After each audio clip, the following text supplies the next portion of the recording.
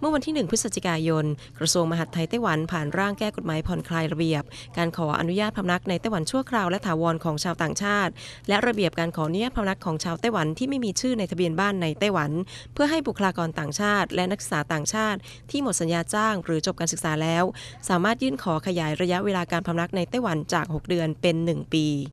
หลังการบังคับใช้กฎหมายดังกล่าว นักศึกษาที่จบการศึกษาแล้ว สามารถขอยื่นขยายระยะเวลาการพำนักต่อได้อีก 6 เดือน ถ้าใกล้หมดเวลาพำนักแล้ว ยังไม่ได้งานหรือกำลังรอเอกสารอนุญาตทำงาน จะยื่นขอขยายเวลาพำนักได้อีกหนึ่งครั้ง ซึ่งรวมเวลาการพำนักสะสมแล้วไม่เกิน 1 ปี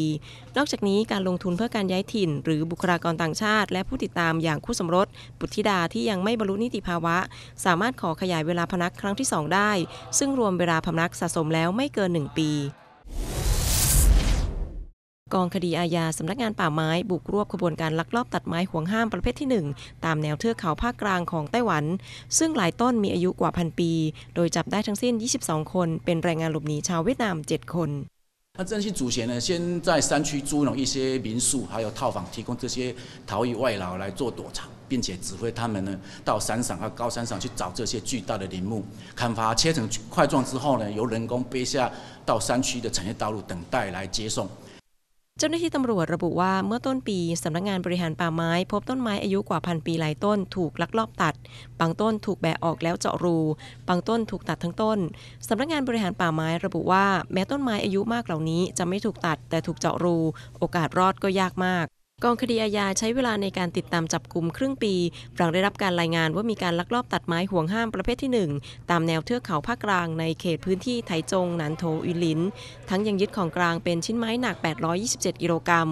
ซึ่งก่อนหน้านี้ขบวนการนี้ลักลอบขายรากไม้และชิ้นไม้กว่าพันกิโลกรัม ที่มีมูลค่าถึง 15 ล้าน NT ทั้งนี้ผู้ต้องหาทั้ง 22 คนจะถูกดำเนินคดีข้อหาลักลอบตัดไม้ตามพรบป่าไม้ของไต้หวัน มินทูปลัดกระทรวงการต่างประเทศเมียนมา เยือนค่ายผู้ลี้ภัยชาวโรฮิงญาที่ชายแดนบังคลาเทศ เมื่อวันที่ 31 ตุลาคม เพื่อหารือในรายละเอียดการส่งตัวชาวโรฮิงญาพลัดถิ่นกลับเมียนมา พร้อมระบุว่าทางการเมียนมายืนยันรับตัวชาวโรฮิงญา 5,000 คน จากรายชื่อ 8,000 คน เมียนมาและบังคลาเทศได้บรรลุข้อตกลงส่งตัวผู้ลี้ภัยอย่างเป็นรูปธรรมแล้วทว่าชาวโรฮิงญาไม่เชื่อมั่นต่อรัฐบาลเมียนมา และยินดีกับรัฐยะไข่ก็ต่อเมื่อทางการเมียนมาให้สัญชาติเมียนมาแก่พวกเขา If definite the Bengali ethnicity, we don't go back home. If we get Rohingya ethnicity, we go home as soon as possible. เมื่อปีที่แล้วชนกลุ่มน้อยมุสลิมโรฮิงญากว่า 720,000 คนออกจากรัฐยะไข่หลีภัยไปบังคลาเทศ หลังรัฐบาลทหารเมียนมาปราบปรามฆ่าล้างเผ่าพันธุ์ จนถูกประชาคมโลกปรามอย่างรุนแรง อย่างไรก็ดีสำนักงานข้าหลวงใหญ่ผู้ลี้ภัยแห่งสหประชาชาติ และรัฐบาลเมียนมาได้ลงนามข้อตกลง เงื่อนไขการส่งตัวชาวโรฮิงญากลับประเทศ เมื่อเดือนมิถุนายนที่ผ่านมา เพื่อความปลอดภัยและเสรีภาพ ตลอดจนยกสถานะผู้ลี้ภัยเป็นพลเมืองของประเทศ แต่ที่ผ่านมาข้อตกลงดังกล่าว ไม่ได้มีผลดีต่อการอพยพกลับเมียนมาของชาวโรฮิงญามากนัก